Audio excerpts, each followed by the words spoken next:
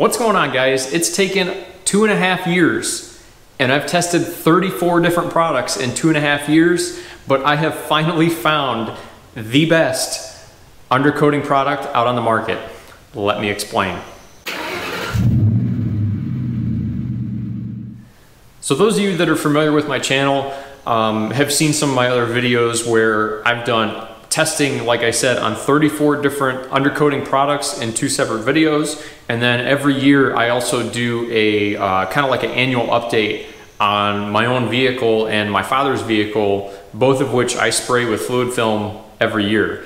And I live in Akron, Ohio, and typically in this area, you're lucky to get you know 10 to 12 years out of a vehicle without you know some sort of major panel on the vehicle being completely rusted through to the point that you could put multiple fingers through it so as you guys are aware, I'm very familiar with what is out there on the market as far as undercoating. So back in early January of 2021, I was contacted by the Blaster Corporation. Um, yes, this Blaster Corporation, the makers of PB Blaster. Um, they're only about 10 or 15 miles from my house, and uh, they sent me an email saying, hey, um, we've got a new undercoating product that you have not tested. Um, you've tested one of our products, but this isn't it. The product that I tested in the past was corrosion stop, and they said, this is not corrosion stop. This is to something totally different that is lanolin based. We want your opinion on it. So I stopped by, they gave me a five gallon bucket and you know like six or eight aerosol cans. And uh, you know, I've been playing with the product for like seven months and I haven't told you guys about it. So as far as the product, what is it? They're calling it Surface Shield. And it is a lanolin based type undercoating, just like fluid film, just like wool wax, and just like a lot of the other um, undercoatings that are out on the market right now. Um, what intrigued me about this stuff when I got it is they claim it's supposed to last for two years without, you know, reapplication.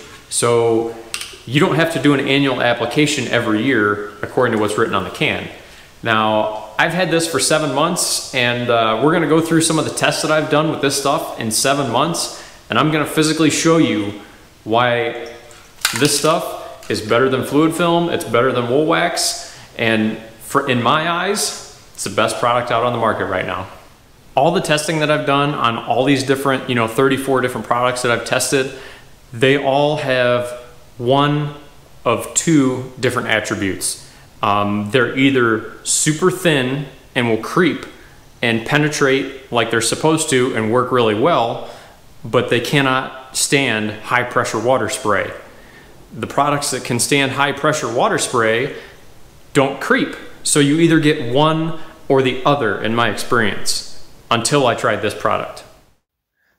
Before we start making comparisons here, guys, I just want to say all three of these products that we're about to talk about are all thoroughly mixed. They're all the exact same temperature. And uh, I'm going to show you guys what makes them drastically different. So when I got a hold of this Surface Shield and I really started using it, there was one big thing that I noticed right off the bat compared to the fluid film and the wool wax that I was using. So if you guys take a look here,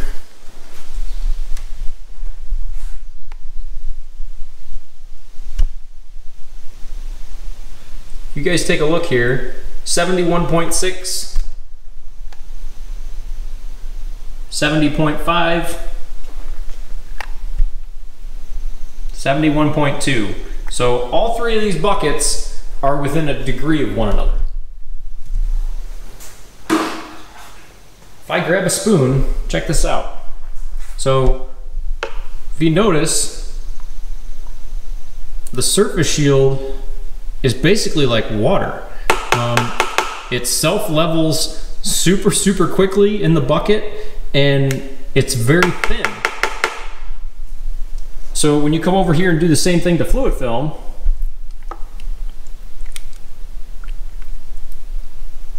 you can still sort of see the path that the uh, spoon took through the fluid film as compared to that.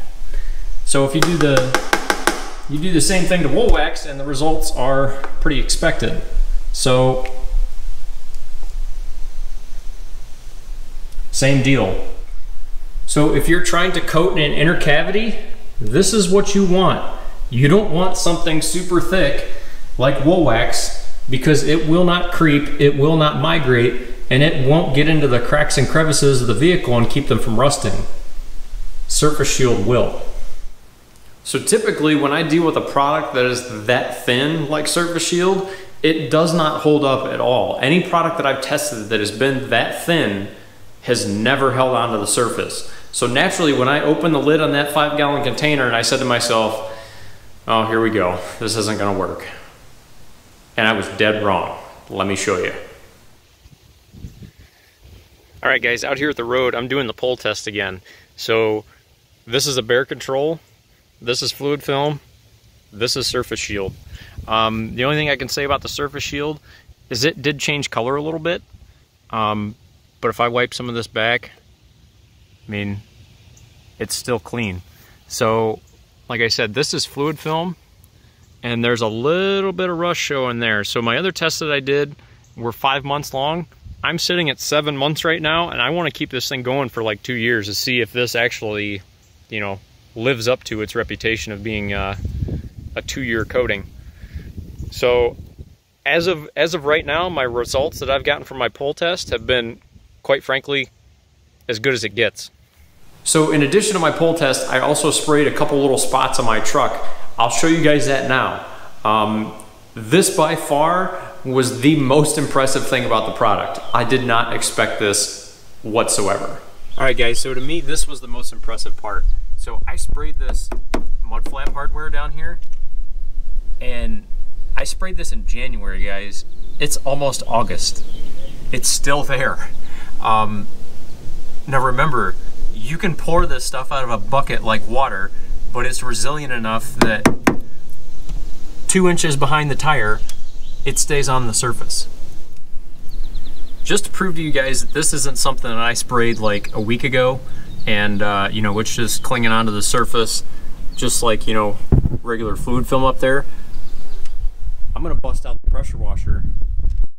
I'm gonna hit this with a pressure washer and I'm gonna show you guys this stuff will stay.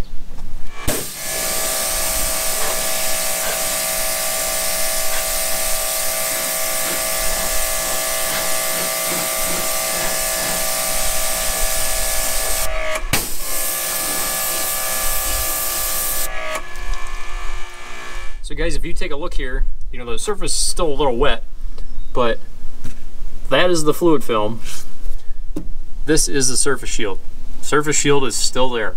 Um, I've got some theories as to why this stays on the surface, but as far as the formulation of the product, obviously there's something drastically different here. So as you guys can tell, I'm very excited about this stuff. Um, going forward, 100%, I'm gonna be transitioning into 100% surface shield, but as you guys saw, I've got about three gallons of fluid film and about three gallons of wool wax that I gotta use before I can you know, make that transition over to surface shield. Um, with that said, there are a couple cons with this product.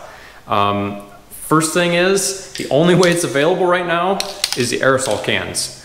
That five gallon bucket that I showed you earlier, that was something that I got for the beta test. So that is not something that's available right now in late July, early August of 2021. Um, as far as the ETA, when those bulk one gallon and five gallon sizes are gonna be available, that's gonna have to come from Blaster because I'm not, I don't know that information. So I can't give you guys a good answer when that stuff is gonna be out. Um, next issue is, is gonna be availability. So the only place that you can get this right now is Home Depot. So if you guys paid attention to the beginning of the video, that is why this is a paid video because I cannot affiliate market this through my Amazon links. The only place you can get this right now is Home Depot. The only way you can get it right now is with these aerosol cans. Um, about the aerosol cans, so as far as coverage, what I did was I brought my fiance's Ford Escape into the shop I sprayed it with the aerosol cans just to give you guys an idea of like a Ford Escape compact SUV, how many cans are you gonna go through to cover a vehicle? Um, I used about two and a half cans. Really wasn't all that much. Um, again, that's gonna depend on the type of vehicle you're working with, um, you know, how thick you're putting the coating on, things like that. So if you're doing like a pickup truck, I would say pick up, you know, a full case. A case is uh, six cans. In regards to aerosol cans, I made this very clear to Blaster very early on in my beta test. Um, my biggest issue with these aerosol cans is the can itself is not compatible with a traditional inner cavity spray tool. So the inner cavity spray tools, the ones that I found like this online, have a male end. Well, this also has a male end on the can, so you cannot attach the two together. Therefore, with an aerosol can, you cannot spray an internal cavity with Surface Shield. That is a big deal, and I made that very clear to them very early on.